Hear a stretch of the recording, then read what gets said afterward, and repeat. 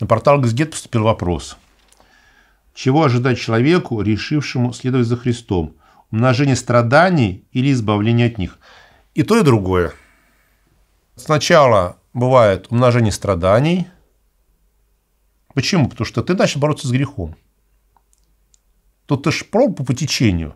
Конечно, всякого сомнения, ты страдал. И все это, конечно, для тебя было, если бы по течению Э, безнравственная жизнь, это если все плохо кончилось. Это можно сравнить как человек, который лично лечится. Вот человек пошел э, лечиться, и да, конечно, там процедуры неприятные, э, и приходится даже потерпеть, попотеть, и больно иногда бывает.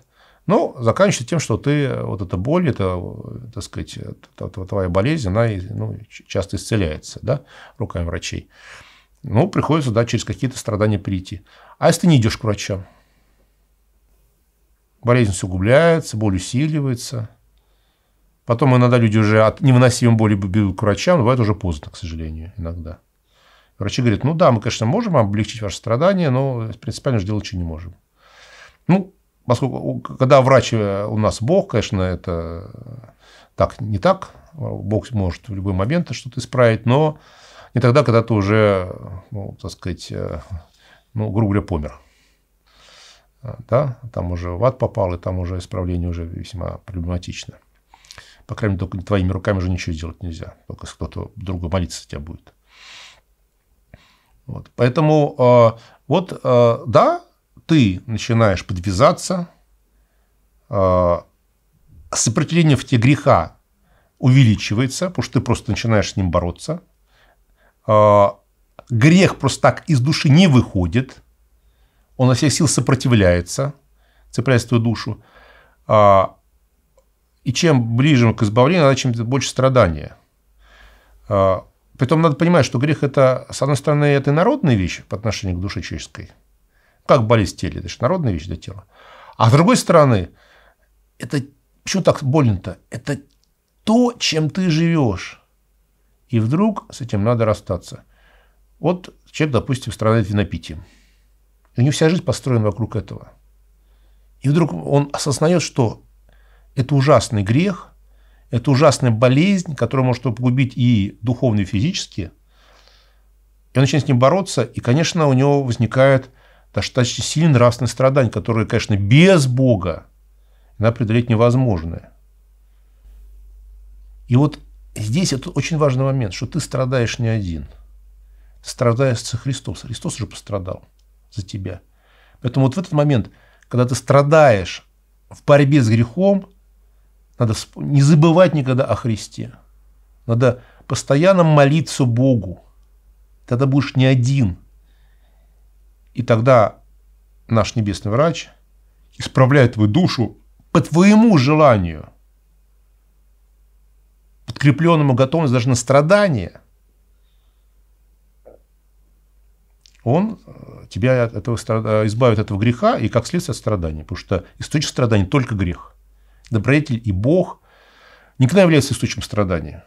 Только наш собственный грех. Это надо понимать.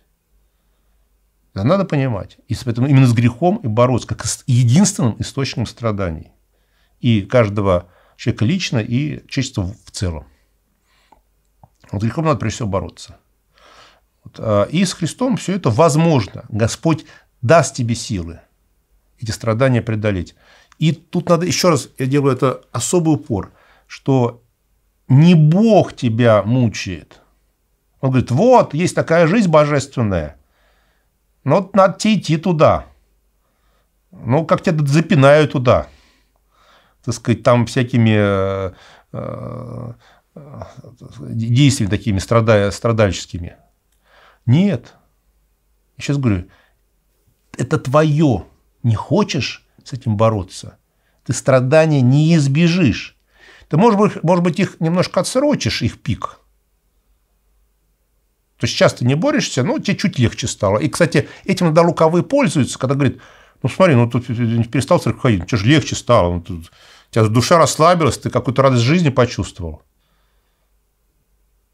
Ну и давай теперь кинем опять же это на больном, там онкологии. Все, химиотерапии нет, лучеотерапии нет, операции нет. Да вообще, жизнь просто покатило в своей полноте. И чем это кончится, если там особенно серьезная уже степень? Да ничем, это очень быстро кончится. Там в течение, может быть, считанных недель.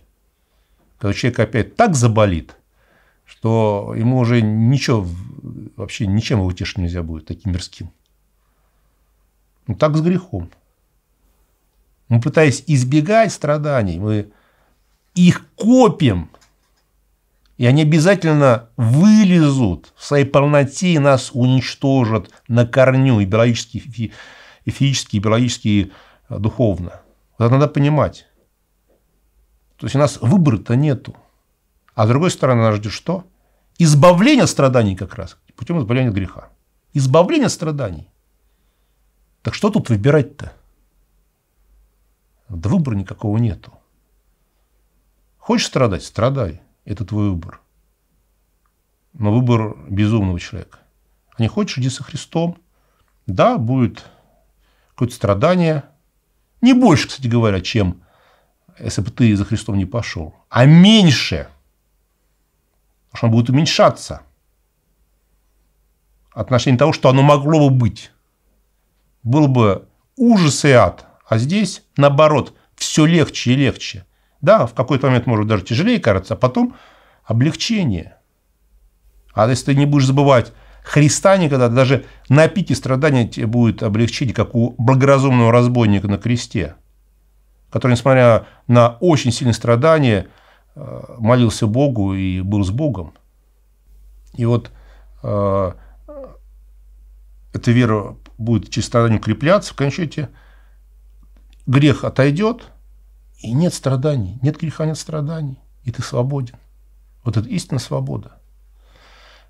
Поэтому да, со Христом, без Христа страданий будут, большие, тяжелые, с Христом страдания тоже будут, но ты со Христом их как раз преодолеешь, и от них избавишься, греха от них избавишься, и ты перейдешь а, как раз к добродетельной жизни, которая дает радость.